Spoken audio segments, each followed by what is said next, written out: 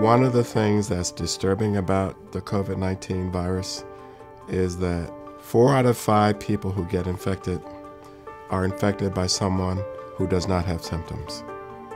People who study virus spread assign them what are called basic reproductive numbers. COVID has a value of about four, which means that for every person who's infected, on average, up to four people might become infected by the person who's transmitting the virus.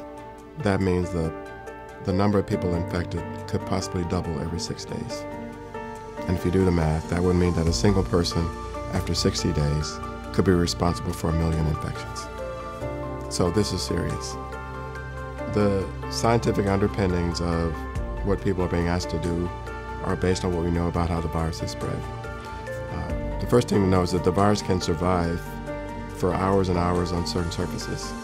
So that if a person who has COVID touches a doorknob or handles a utensil or does other things and leaves the virus on that surface, the virus can stay there for up to, in some cases, up to a day.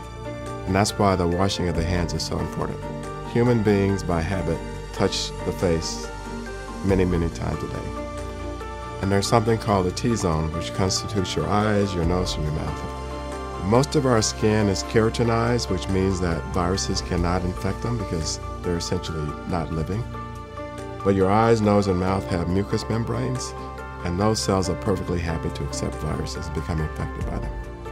Coronaviruses are indigenous to bats, and because of the genetic differences between humans and bats, those viruses don't normally infect humans. They require an intermediate host. So what happens is the coronavirus infects another animal, adapts to growing in mammals, and then it's able to infect humans. For SARS, it was cats. For MERS, it was camels. And for this virus, we don't know what the intermediate is.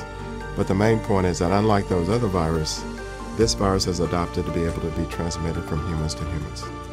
In the case of COVID 19, we are in fact the vectors because we're transmitting the viruses to each other. So the goal is to eliminate the vectors, and that means that we have to protect ourselves, and by doing that, we protect everybody else. So don't be the vector.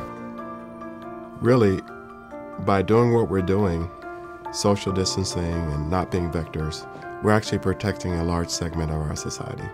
So each one of us can play a big role in saving lives by taking care of ourselves, we're actually taking care of each other. And that's what this is really all about.